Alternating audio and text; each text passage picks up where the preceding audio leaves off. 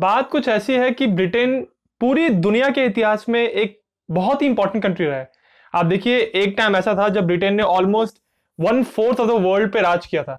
तो बहुत ज़ाहिर सी बात है कि इतनी बड़ी अगर कंट्री है, इतना इंपॉर्टेंट कंट्री है तो बहुत सारी लड़ाइयों में पड़ी होगी, बहुत सारे वॉर्स में पड़ी होगी। बट जब लास्ट टाइम किसी ने ब्रिटेन में एंट्री की थी सक्सेसफुल इन्वेजन किया था और ब्रिटेन के राजा को तख्ता पलट कर दिया था, वो ऐतिहासिक मोमेंट जो था उसको कहते हैं द ग्लोरियस रेवोल्यूशन। कहानी शुरू होती है साल 1685 में ब्रिटेन में। उस समय ब्रिटेन का राजा था चार्ल्स द सेकेंड। बट उसका कोई एयर नहीं था, यानी उसका कोई वारिस नहीं था। तो उसकी गद्दी मिल गई उसके भाई को, जिसका नाम था जेम्स द सेकेंड। पुराने जमाने में जब राजा राज करते थे तो ऐसा होना बहुत कॉमन था कि अगर वारिस नहीं है तो छोटे भाई को मिल जाएगा, ये बहुत कॉमन था। तो इसके जब छोटे भाई को मिला, उसमें एक प्रॉब्लम थी। क्या प्रॉब्लम थी? बात ये थी कि जेम्स सेकेंड थे कैथोलिक। देखिए, क्रिश्चियन धर्म के दो हिस्से होते हैं। कुछ होते हैं, कुछ लोग होते हैं कैथोलिक और कुछ होते हैं प्रोटेस्टेंट जेम्स सेकेंड जो थे, वो थे कैथोलिक। तो बहुत साधारण सी बात है कि वो कैथलिक्स को सपोर्ट करते थे। उन्होंने बहुत सारे ऐसे नए नियम लागू किए जिसमें कैथलिक्स को ज़्यादा पावर मिली। उन्होंने कैथलिक्स के लिए फ्रीडम और बढ़ाई और आर्मी में इंपॉर्टेंट जगहों पे कैथलिक्स को अपॉइंट करना शुरू किया। ये सब कुछ देख के जो प्रोटेस्टेंट लोग थे, उनको लगने लग गया कि भाई, ये इंसान ना पूरे इंग्लैंड को, पूरे ब्रिटेन को एक कैथलिक कंट्री बना देगा कैथलिक अंपायर बना देगा और प्रोटेस्टेंट्स खत्म ही हो जाएँगे। अच्छा इसके बाद नेक्स्ट प्रॉब्लम क्या थी? इस बंदे ने ये कोशिश की कि वहाँ के पार्लियामेंट को डिसॉल्व कर दे, यानी पार्लियामेंट को खत्म कर दे और नई पार्लियामेंट बनाए, ऐसी पार्लियामेंट जिसपे राजा का बहुत असर हो, जिसके जो पार्लियामेंट राजा की बात माने। ये बात अच्छी नहीं थी, क्योंकि पार्लियामेंट का काम होता है राजा के सारे एक्शंस को कंट्रोल करना। अगर राजा अपनी मनमानी कर रहा है तो पार्लियामेंट उसको सही रास्ता दिखाएगा, उसके उसके एक्शंस को कंट्रोल करने की कोशिश करेगा। बट अगर आप पार्लियामेंट ही डिजोल्व कर दोगे तो ऑब्वियसली सारा पावर आपके हाथ में आ गया ना। तो पार्लियामेंट डिजोल्व करने की कोशिश कर रहा था और अपनी एक नई पार्लियामेंट बना रहा था, जिसमें सारे इंपॉर्टेंट जो लोग रहेंगे पार्लियामेंट में, वो राजा की बात मानेंगे। इस बात से लोग और नर्वस हुए बट फिर भी कहानी चली जा रही थी, क्योंकि लोगों को लग रहा था, चलो कोई बात नहीं, राजा तो है कैथलिक बट उसकी जो बेटी है मैरी वो प्रोटेस्टेंट है। तो कोई बात नहीं, जब राजा जब ऊपर जाएँगे तो उनकी बेटी क्वीन बनेगी, फिर उनके वारिस जो होंगे, वो सब प्रोटेस्टेंट रहेंगे तो ये बराबर हो जाएगा, सिर्फ़ कैथलिक का राज नहीं रहेगा। बट फिर एक अचानक से एक न्यूज़ आई। न्यूज़ ये थी कि राजा की जो दूसरी वाइफ थी, उसने एक बच्चे को जन्म दिया और उस बच्चे के लिए अनाउंस कर दिया राजा ने कि वो उस बच्चे को कैथलिक की तरह बड़ा करेगा। उस एक बच्चे के पैदा होने की वजह से। अब उसकी जो बेटी थी मैरी, जो प्रोटेस्टेंट थी, उसको गद्दी नहीं मिलने वाली थी, अब इस बच्चे को गद्दी मिलती। ये देख के लोग को लगा, अब तो चांस खत्म, अब तो कोई चांस ही नहीं है प्रोटेस्टेंट्स का वापस पावर में आने का। तो देखिए यहाँ पे लोगों के मन में तीन बातों को लेके बहुत बड़ा डर था। पहला, कि जो राजा था वो अपना पार्लियामेंट डिसॉल्व कर रहा था, नया पार्लियामेंट बना रहा था जिसपे वो कंट्रोल करे। दूसरा, राजा कैथलिक लोगों को बहुत इंपॉर्टेंट पोजिशन दे रहा था, उनको फ्रीडम दे रहा था। और तीसरा, जो राजा का बेटा हुआ, उसको उसने अनाउंस कर दिया कि ये भी कैथलिक ही बड़ा होगा। ये सोच के अब लोगों को लगा, अब तो बस खत्म। और फिर डिसाइड किया गया कि इसके लिए अब कुछ ना कुछ तो एक्शन लेना ही पड़ेगा। तो साल 1688 में जो राजा के कुछ करीबी लोग थे, उन्होंने क्या किया? उन्होंने एक Dutch leader William of Orange को एक लेटर लिखा। और उस लेटर में उन्होंने ये बोला कि अगर आप वहाँ से आके इंग्लैंड पे हमला करें और राजा को हरा दें तो आप जब जीत जाओगे तो हम आपको गद्दी पे बैठा देंगे और और हम आपके प्रति वफादार रहेंगे। तो राजा के करीबी लोगों ने ही विलियम ऑफ़ ऑरेंज एक बाहर के इंसान को यहाँ पे अटैक करने के लिए बुलाया। बट यहाँ कमाल की बात क्या थी? विलियम ऑफ़ ऑरेंज जो थे, वो राजा की पुत्री मैरी के पति थे। तो एक तरह से उन्होंने राजा के दामाद को ही इनवाइट किया कि आप यहाँ पे आके हमला करो। पर इस सब में विलियम ऑरेंज का पर्सनल इंटरेस्ट क्या था? वो क्यों चाहते थे कि यहाँ पे हमला करें?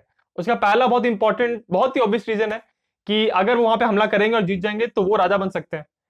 दूसरी बात विलियम ऑफ़ ऑरेंज को फ्रांस से बहुत खुंदक थी। उनकी फ्रांस से लड़ाई होती रहती थी। तो सोच रहे थे कि अगर वो इंग्लैंड को जीत लेंगे, ब्रिटेन को जीत लेंगे तो वहाँ की फोर्सेस से मिलके फिर वो फ्रांस पे हमला कर सकते हैं और फ्रांस को जीत सकते हैं। तो इसीलिए विलियम ऑफ़ ऑरेंज को ये ऑफ़र बहुत अच्छा लगा कि चलो जाते हैं और ये ब्रिटेन पे हमला करते हैं और वहाँ के किंग को हटाते हैं। तो इस प्रकार फाइनली साल 1688 में विलियम ऑफ़ ऑरेंज ने हमला कर दिया ब्रिटेन के ऊपर। वो ब्रिटेन में पहुँचे पैंतीस हज़ार फौजियों को लेके, और उन्होंने एक्चुअली हमला नहीं किया। उन्होंने ये कहा कि हम यहाँ पे आएँगे और वापस लॉ एंड ऑर्डर को रिस्टोर करेंगे और जो आपका जो राजा है, जो तानाशाही चला रहा है, उसको हम हटा देंगे। किंग जेम्स द सेकंड को पता चल गया था कि यार यहाँ पे अब लड़ने का फ़ायदा नहीं है, उनके अपने ही लोग उनको धोखा दे रहे हैं और उनकी बेटी का पति ही उनसे गद्दी छीनने की कोशिश कर रहा है, ऊपर से तबीयत भी खराब है। तो फिर उनको लगा कि अब तो उनकी जान को खतरा हो सकता है। तो उन्होंने एक बार वहाँ से भागने की कोशिश की बट उनको पकड़ लिया गया। बट उसके बाद फिर से उन्होंने एक महीने बाद वहाँ से छुप के भागने की कोशिश की और इस बार वो सक्सेसफुल हो गए। और वो भाग के गए सीधा फ्रांस में, जहाँ पे उनका कजिन लुई द फोर्टीन राजा था, वो जाके वहाँ पे छुप गए। और यहाँ पे अब ब्रिटेन में विलियम ऑफ़ ऑरेंज जो थे, उनको लोग मानने लग गए कि अरे वाह, इस इंसान ने आके बाहर से हम लोग की नैया पार लगा दी, हम लोग को बचा लिया। तो लोग उसको एकदम मसीहा समझने लग गए। और ये फाइनली डिसाइड हुआ कि विलियम ऑफ़ ऑरेंज और उनकी वाइफ मेरी ये राजा और रानी बनेंगे। और अब ये लोग इंग्लैंड पे राज करेंगे। ये दोनों व्यक्ति प्रोटेस्टेंट थे। तो जब ये दंपति राजा रानी बने तो उन्होंने बहुत सारी चीज़ों को ठीक किया, पार्लियामेंट को ठीक किया और ये बात एक्सेप्ट की कि अगर पार्लियामेंट उन पर रोक लगाएगा तो वो उस बात को एक्सेप्ट करेंगे। उसके अलावा उन्होंने इस बात को वर्जित कर दिया कि अब यहाँ से आगे कोई भी राजा जो होगा ब्रिटेन का, वो कैथलिक नहीं हो सकता। और उन्होंने सबसे इंपॉर्टेंट चीज़ जो की, वो थी डेक्लेरेशन ऑफ़ राइट्स को साइन करना। इसको आज हम बिल ऑफ़ राइट्स भी कहते हैं। ये एक ऐसा डॉक्यूमेंट था जिसने इंग्लैंड की जितनी भी सरकार का जो सिस्टम था, उसको पूरी तरह पलट कर रख दिया। क्योंकि इसके पहले क्या हो रहा था कि अगर ब्रिटेन में कोई राजा बन रहा है तो उसका बेटा राजा बनेगा, फिर उसका बेटा राजा बनेगा। ऐसे में जो प्रजा है, उसके पास कोई भी पावर ही नहीं है। वो कुछ कर नहीं सकते कि राजा राजा राजा चलता रहेगा, उनका कोई उसमें हाथ ही नहीं है। बट इन्होंने जब ये बिल साइन किया तो उसमें ये चीज़ हो गई कि अब जो राजा बनेगा, उसमें जनता का भी कुछ रोल होगा। जनता के पास भी थोड़ी पावर होगी और उनको कुछ राइट्स मिलेंगे, उनके कुछ अधिकार होंगे। और इसीलिए ऐसा कहते हैं कि बिल ऑफ़ राइट्स का जो साइन होना था, ये सिर्फ़ ब्रिटेन के लिए नहीं, पूरी दुनिया की हिस्ट्री के लिए एक बहुत ही इंपॉर्टेंट इवेंट था। क्योंकि ये पहली बार था जब नॉर्मल मोनार्की से सरकार आ गई थी कॉन्स्टिट्यूशनल मोनार्की में।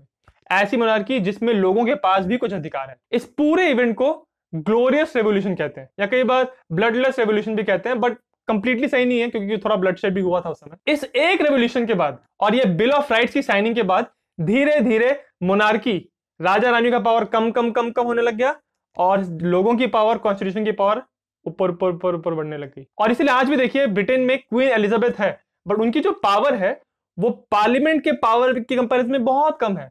सारे जो मेन फैसले हैं, वो वहाँ की पार्लियामेंट ही लेती है। ये पूरी ब्लडलेस रिवोल्यूशन की कहानी मुझे इसलिए बहुत दिलचस्प लगती है, क्योंकि ये एक ऐसा इवेंट था, जब किसी बाहर वाले इंसान ने आके उनके देश में उनके सिस्टम को ठीक करके रख दिया। हम जब भी बाहर के इंसान को सोचते हैं तो हमको लगता है कि विलन ही होगा बट कई बार बाहर के इंसान का हमला उस देश के लिए सही साबित हो सकता है, जो कि इस इवेंट में प्रूव हुआ था। अगर आपको हिस्ट्री की ऐसी कहानी जानना अच्छा लगता है तो आप मेरे इंस्टाग्राम पेज फॉलो कर सकते हैं, उसका लिंक आपको स्क्रीन पे मिल जाएगा। और अगर आपको वीडियो अच्छा लगा, सिर्फ़ तभी मेरे चैनल जिज्ञासियम को सब्सक्राइब ज़रूर करें।